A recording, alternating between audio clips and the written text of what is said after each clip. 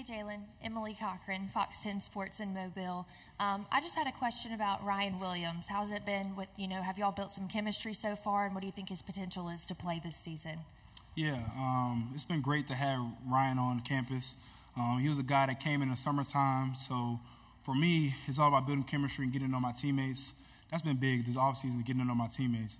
And that's one guy um, that I try to get to know, uh, Ryan doing a really good job just trying to master the system, master the game plan, master us as a group because um, it's new. I was a guy that came in um, and it was all about finding your place and also trying to get better, but also meeting new guys. And so that's a guy um, that I try to build a relationship with. But with our reps that we have together, he's doing a really good job um, building, getting better, and he's a guy that's um, that's likable around around the whole campus and all the coaching staff.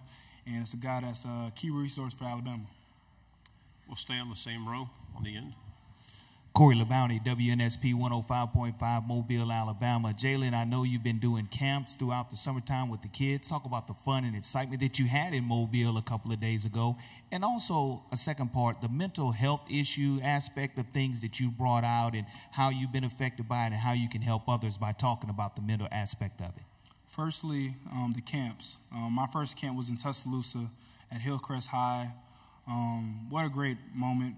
Um, that was that was um, something that was one of my goals um, was to host my first camp, host a camp, and it was a sense of giving back to the community and allowing kids to have fun and branch off and meeting new people and have an opportunity to play the game of football. The game of football is beautiful. Is beautiful.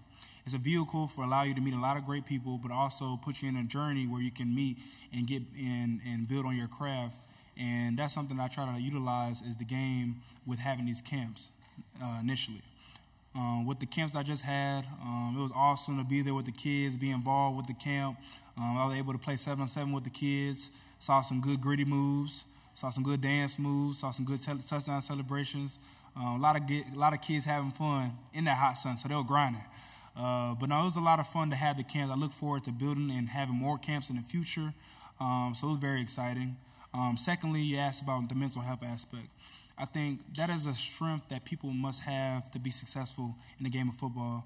And you might not realize it until you hit a tough moment on your journey.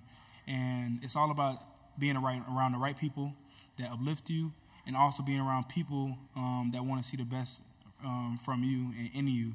And so that's all, that's all what it came down to. And I'm a strong believer in faith and having that on your side, and it gives you direction and purpose, and give you the strength in any opportunity um, that is presented that it might adversity might pop up. But um, I think mental health is something that you should truly be strong in.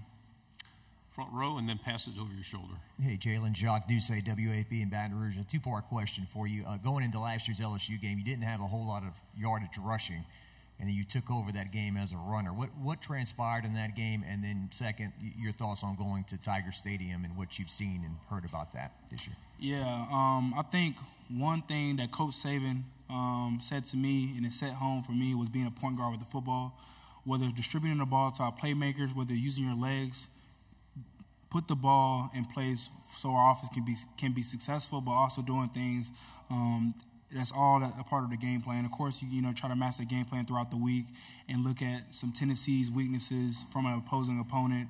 And when it came to that week, it was all about attacking the game plan and trying to do what was best for our offense, whether it was my arm, whether my legs. Um, that's what truly took place. Um, secondly, with your question about going to Tiger Stadium, what a great opportunity. You know, being a road warrior. Um, you know, playing SC is, is, the best conference. I feel as though each and every week you have to give your all, especially being in Alabama, you're going to get everybody best game. So, you know, we're anticipating a great crowd, um, a lot of energy. So, super excited um, for the future with playing on, on the road. Front row on the right. Uh, Eric Bailey with the Tulsa World, kind of piggybacking off that question. Kirby Smart did say yesterday, any road win in the SEC is a big a big win, and Oklahoma is going to come to expect tough Saturdays on the road. Uh, can you talk about what Oklahoma can expect on the road in SEC, and what what has been your toughest road game during your career at Alabama? Uh, first question, you know, um, I've had a great great uh, experience playing in SEC with just seeing um, all the enthusiasm, all the energy, all the tough games um, that's placed in the SEC with all the competition. So I've seen a lot, you know, with, with my time being in college. Um, so I can just say, you know, they're going to have a um, uh, a lot of competitive games and also a great experience just playing at SEC. Um, but number one, the resources that's provided um, with being a student athlete and being a student at um, an SEC school, just a lot is poured into the universities. So that's what a what a great opportunity um, with that being in SEC. So super happy for them for now that for them to have that experience.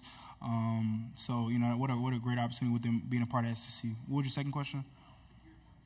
Oh, no, yeah, t- like I mentioned, you know, playing playing on the road is hard. Um, that's something that we try to embrace in the off season. Is just the challenges that might be, may be presented in the future with playing on the road. Um, so it's it's hard to narrow down one because um, especially because like me and Alabama are gonna get everybody best game and a lot of energy is gonna be be placed in the in the building. So it's hard to narrow down one, but it, it's super exciting playing in the South Southeast Conference. Left side, third row. Tyler Shaw with KBTX and College Station. Jalen, first off, can you uh, do you mind describing your, your fit to us? well, okay, so it was down to three suits. Um, I was trying to decide which which color I was gonna wear. Um, whether it was a light suit, a black suit that was neutral, and a lighter color. Um, it was it was hard to decide. I want you to guess when I decided to put that on and decide. I decided this morning. I hope I look all right because I decided this morning right before the, our, our, flight. But um, it came down to the shoes. You got to start with the shoes when, it, when you start your outfit off. So I got the black Pradas on, and so from there I built upon that, and then I got all the way up. Right side on the aisle. Yeah, Joseph Duffy, TSTV Sports in Austin. Your old lineman Tyler Booker mentioned how uh, not just that final play in the Rose Bowl has motivated y'all so far in the season, but really the entirety of the game with some miscues that y'all wish you could have back being that your coach and uh, Kalen DeBoer had the same kind of miscues that he wanted back at Washington, has he used that game also in the national championship to motivate you all together? And if so, how? What a great question. Um, I'll say there's a lot of things that you can always reflect on from past seasons. And number one for us was last year. Um, we were blessed and fortunate to be in the college playoffs, one game away. Um, what what what burn do you need more than being that close to a championship? And so for us, you know, we're very passionate about each other, but also passionate about achieving short-term goals and long-term goals as we're going along this process. And um, we can always reflect and learn from it. And so, you know, we shared that. Um, that we shared the same experience from Coach DeBoer um, with failing to achieve a national championship. So now it's all about refocusing and focusing focusing on our 2024 football season. Final question left side on the aisle. Joe and Ryan Hennessy, WVTM NBC 13 in Birmingham. When we were at the Rose Bowl, you told us about doubters, some even your coaches previously. Now you're going into a season where you're highly respected by the media, going into potentially a Heisman run. Does your mindset change, or what are you doing going into this compared to going into last year and what you told us last year? I think it's the same mindset, same mission, being the best version of myself each and every day I walk in the building, being the best quarterback in the country, um, learning – um, growing as a player, seeking all information from my coaching staff, being a student of the game. Um, I think it's all about going one and zero, oh. and the grind doesn't stop. That cliche term, but the grind doesn't stop. Just each and every day that you have an opportunity to play the game of football, seize it.